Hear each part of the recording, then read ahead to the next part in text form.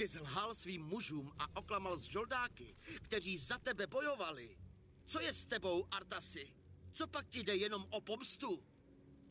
Ušetři mě toho, Muradine. Ty jsi tam nebyl a neviděl, co Melganis udělal s mou vlastí.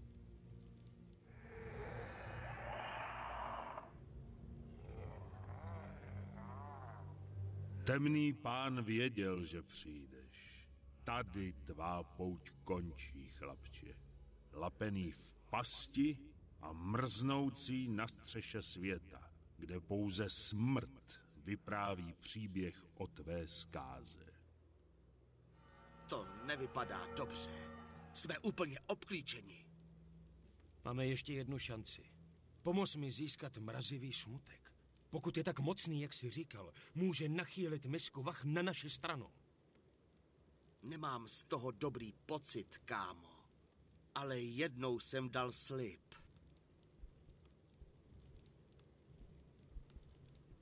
Kapitáne, nechám vás tu, abyste se postaral o naši obranu. Dejte se do toho.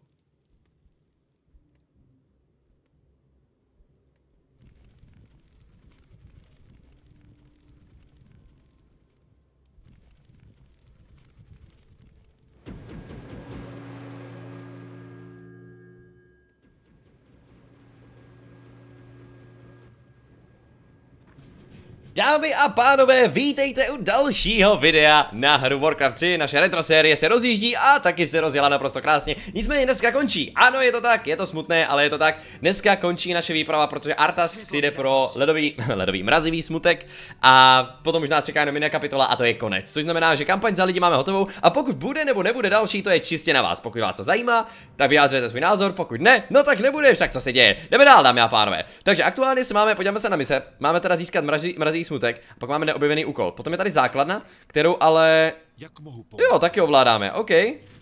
OK, ovládáme teda dvě základny najednou, respektive dvě tyhle věci. Takže hnedka to tady trošku upravíme a budeme teda řešit tuhle výpravu a musíme si zároveň dávat pozor, protože v tenhle moment to tady začíná být celkem složité. Nep je toho tady opravdu hodně, ale to nevadí. No, takže tady si postavíme pár jednotek, začneme si teda vylepšovat pár uh, skillů, máme celkem dost surovin, což je hezké. A tohle je teda dobrý. Naše město je obléháno, to je teda úplně... Počkej, cože? Ze dvou stran? Děláš si srandu? OK, to bude v pohodě. OK, tak tohle bude hodně velká sranda. Prsten ochrany plus 3. OK, Arta si fič pro tohle. Protože tohle musíme získat hodně rychle. A zároveň musíme se teda starat o tu bejsku. Uděláme podle mě hodně věží, to myslím, že úplně nebude nejhorší nápad. A máme novou jednotku, to jsou Gryfoni. To, si seriózně myslím, že to vůbec nebude nejhorší nápad udělat něco takového, že bychom třeba použili, protože seriózně Gryfoni jsou výborní. Tak, postavíme pár dalších věží, potom budeme určitě muset postavit pár dalších elfů, kteří budou healovat. A kouzelný stráž nám poskytuje lidským věžím odhalit neviditelné jednotky. Truside, nevím, jestli úplně potřebujeme, protože v tenhle moment uh, Truside je, jak říkám, nevím, jestli potřebujeme. Tak mrkneme se sem, jestli tady náhodou něco není a zdá se, že tady je prázdnota. A musíme najít mrazivý smutek, kruci práce. Healovací fontána, necháme tam, ať se vyhilujou. Máme dodělané teda ty věci, zlepšíme tohle a tady máme jedny, dvě kasárny a můžeme dělat koně. OK, a uděláme si pár střelců. Už máme velkou údržbu, dobrý. Vy tady máte prýsta, uh, máte tady jednoho prýsta a vy tady nahoře zažíváte těžké chvíle bez, bez prýsta, takže půjdete sem. A ty tady udělej další věžičku, stíháme dámy a pánové. Nemáme zlato. Jako fakt nemáme zlato? Není, proč Dobrý, nevadí, jdeme dál, jdeme pro mrazivý smutek. Jo, tak to je teda nepříjemná cesta, vám řeknu. Nevadí, v každém případě uh, Muradin je celkem dobrý nuker. Hezkým způsobem to dokáže vytankovat. Úplně nechce to tady tankují ti střelci. Ale to nevadí, Muradin nešviní tady do zem. Šviní tady tohle. Dobrý, dobrý, dobrý, vyhýlujeme a tak dále. Jsme hotoví, máme teda postavenou druhou věž. Postavte jich více, ty věže základu nestojí zas tak moc. Vylepšit je potom můžeme vždycky. A tohle stojí 200, ok, to uděláme jednu. Máme velkou údržbu, co znamená, že v tenhle moment těžíme pouze 4 goldy. Máme? Těžíme ve čtyřech nebo v pěti? Těžíme snad ve třech jenom. Kolik je to? Tři? Těžíme ve třech, no tak skvělý. A máme tady kniha obratnosti, se jsme Artas a silnější lekvar many. To si jsme třeba Muradin, protože ten ještě má nějaký ty sloty a můžeme jít dál. Ok, cool, zvládáme. Ok, procházet přes zamrzlých hřbitov asi není nejlepší nápad, já to věděl. V každém případě Artas má dobrý spell, který dokáže všechno smazat. Mi umřel jeden rytíř? Ne, oni ho očarovali, ale ne. To byl můj nejoblíbenější rytíř. Nevadí, švini do tohle. Murady nebouchni do země. Já furt na to musím klikat, protože každá jednotka to má jinak. Bych se možná mohl přebindovat, no. Ne, nezabijte toho našeho. Hm. Si ani nevšiml, zabijeme našeho. A tady v base to teda funguje dobře, děláme pár upgradeů, peněz teda moc úplně není, ale uděláš se třeba, no tak kamarád se dělej co můžeš, to je to, co bude třeba. Tak. A ty, už jsme tady v pěti, dobrý, takže pojď těžit. Tak teda běž, dobrý, Ang to asi nebude, můžeme rozbít tady tyhle věci, nemůžeme, dobrý, jdeme dál. Jdeme dál, Artas má spoustu money, healuj to kámo. Bohužel nám umřela ta jedna jednotka, možná bychom mohli použít učko, ale to má dlouhý cooldown, takže úplně bych se tomu rád vyvaroval. Vraťte se Ty vole, co to tady je? V této opuštěné kopce vás čeká jen smrt. Čeká nás jenom smrt. Počkej, tady jsou tři zóny? to, že tam dole je ještě něco strašnějšího, než s čím jsme se dosud setkali. Jo, to je pravda, ale tady, tady dole. chcete, chlapci? Neprojdete. Neprojdeš dál. No tak tady si musíme dát velký pozor, protože já myslím, že tady Muradinovi potřebujeme avatara. Zakaz Muran! Tak a půjdeme do toho velkého, on nemá manu, napí se, švini do země. Artas to tankuje, to je skvělý, protože on má spoustu věcí. A tady upgradeujeme ty věže a to je úplně, úplně topovečka. Máme velkou údržbu. Tak, ho jsme zabili, ale on řekl ne. Bude pozdě. Nemluv a nech mě tě zabít. Snažíš se chránit meč do poslední chvíle, co? Ne, Ne, snažím se chránit vás ale ne. před ním. No to snad ne, ty vole, to je Oscarový výsledek tohleto. Úplně čumím. Tak, zabili jsme ho, nice. Pohleď, Muradine, naše spása! Mrazivý smutek! Počkej, kámo. Na piedestalu je nějaký nápis. Je to varování. Píše se tu. Každý, kdo uchopí tento meč, bude vládnout nekonečnou silou. Stejně jako ostří trhá maso, musí jeho moc drásat duši. To jsem si mohl myslet. Ten meč je prokletý. Vypadneme odsud. Ochotně přijmu každou kletbu, jen abych zachránil svoji vlast. Nech ho být, Artasi. Zapomeň na tenhle podnik a odveď své muže domů. K čertu s muži! Nic mi nezabrání ve vykonání mé pomsty, starý brachu. Dokonce ani ty ne. A teď vyvolám duchy tohoto místa. Dám jim cokoliv a zaplatím jakoukoliv cenu. Jen když mi pomůžete zachránit můj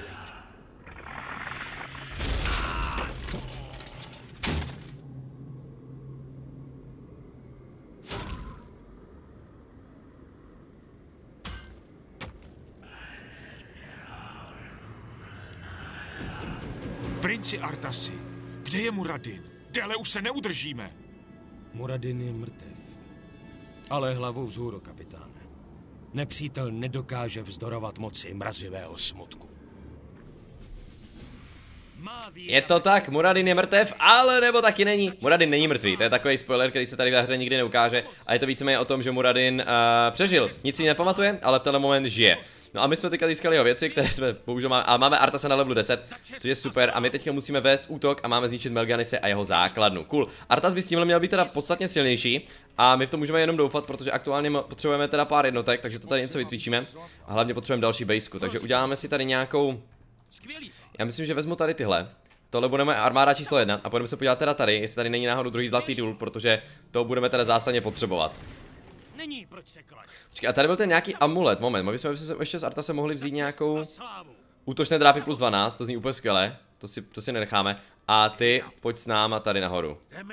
Jdeme na to, no a když to budeme pušnout touhle stranou, tak odsud nebudu moc přijít, tady je malá armáda, tady je poměrně OK armáda, je tady healer, věže, dobrý.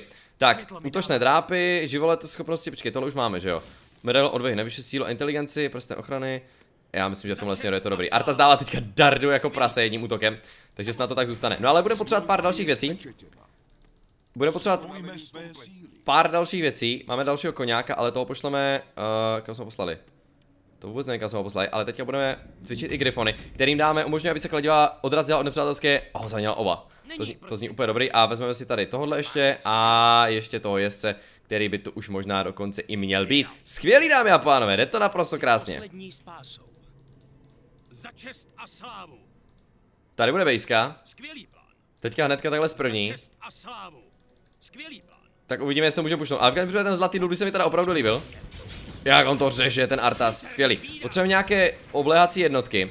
Nicméně, já si úplně nejsem jistý, které budeme vlastně používat, ale co budeme určitě potřebovat, je pár sedláků, které budeme teda používat na těžení právě tady tohle. Protože tady máme zlatý důl, který je prakticky nechráněný a ta hra mi říká, jo, budeš to potřebovat, pane kolego. Takže tady budeme expandovat jako první. Já jsem temnota. Jsi si jistý? Proč seš ty zrovna temnota? Světlo mi dává. Jsi poslední spásu. Tak, tělo, tohle máme postavené, ty tady postav uh, tvrz, která ještě nemůžu postavit, protože je to strašně drahé, máme dodělaný výzkum a Artas tady bude pušovat dál, protože tady jsme si teďka protáhli naši základnu, ale pozor, tady ještě vstup někam jinam, musíme se podívat, kam tohle vede. A zároveň tady ještě vstup někam jinam, takže tady bude potřeba hodně věží. Tohle bude trošku složitější.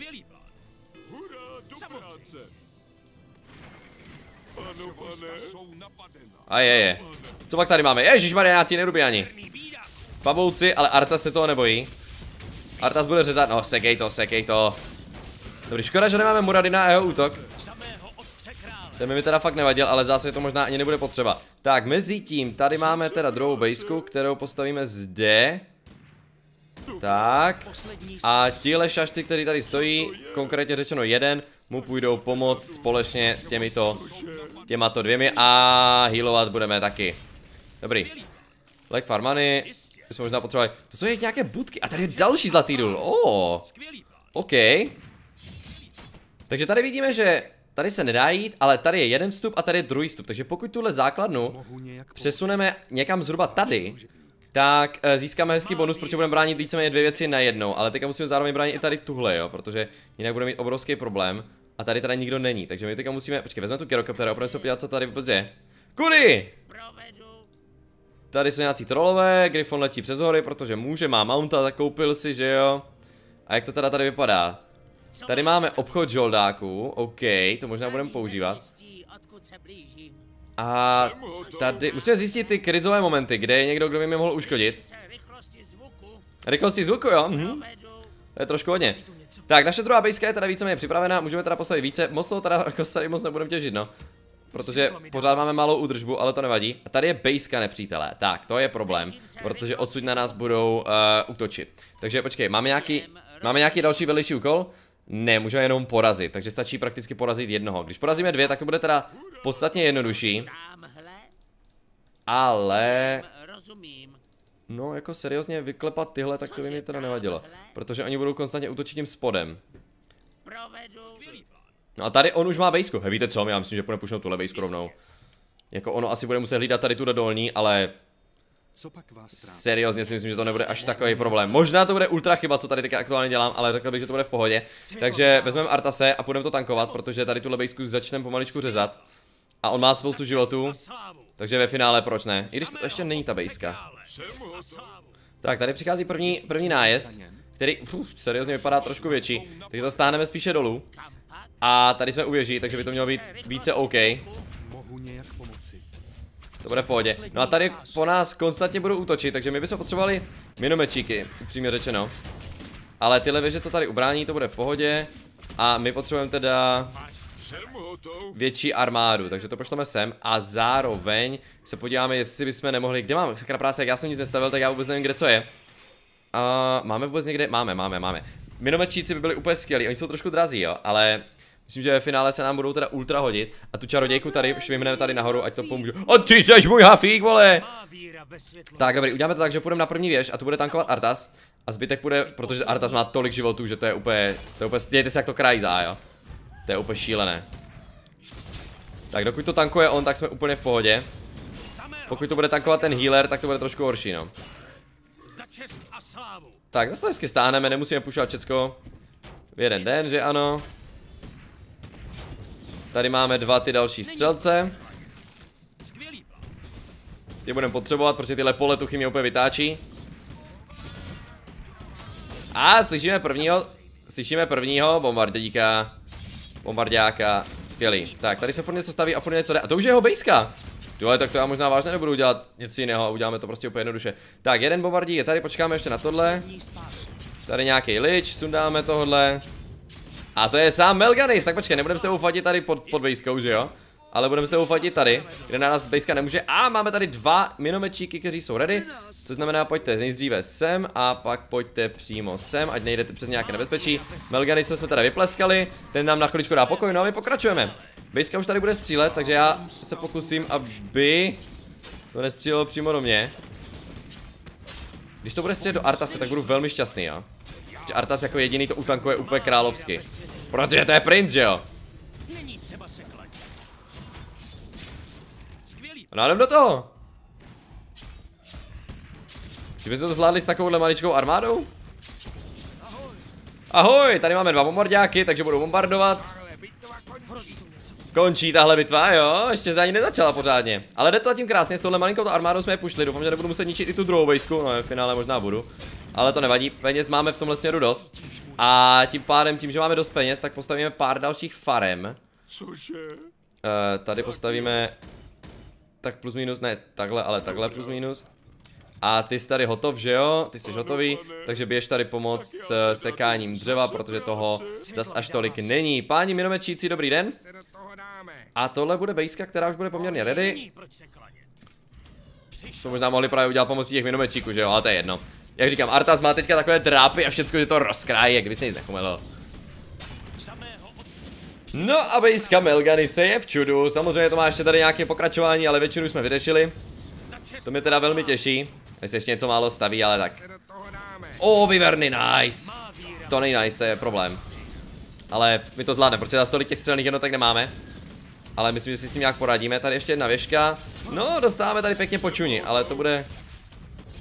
Řekl bych, že to bude poměrně OK. Tak, výborně, Viverna dole, tebe teďka healneme. Artasi, ty pojď, ještě nejmrtvej, švihni ho. Tak, a Arta stankuje a jdeme dál. Minomečíci jsou ready, ná, neda. Skvělý. Melgarisova bejská je v čuru. To je všechno, co máš, chlapče? Takže ty se schopil mrazivého smutku i za cenu životů svých spolubojovníků. Přesně jak předpověděl temný pán. Jsi silnější, než jsem doufal. Plítváš dechem, Melganisi. Já nyní naslouchám pouze hlasu mrazivého smutku. Nasloucháš hlasu temného pána. Promlouvá k tobě skrze meč, který třímáš. Co pak ti říká, mladý muži? Co pak ti zrovna teď temný pán smrti povídá? Říká, že přišel čas mé pomsty. Cože? Třeba má na mysli...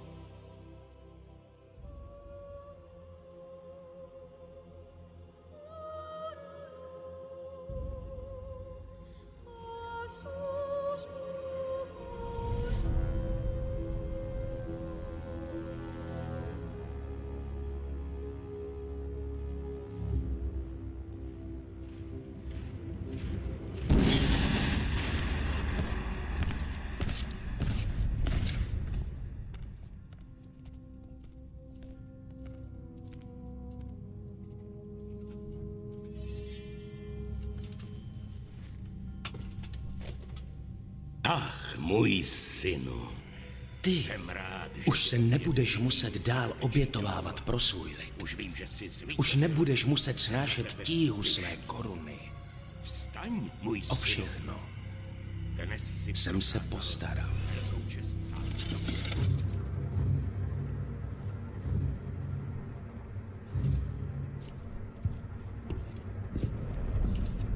Co je to? Co to děláš, můj synu? Stávám se tvým následníkem, otče. Nechť se tvé oči zavřou, jako se mé otevřely.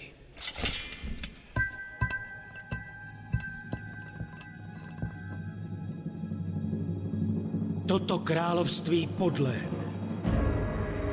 A z popela povstane nový řád, který otřese samotnými základy světa.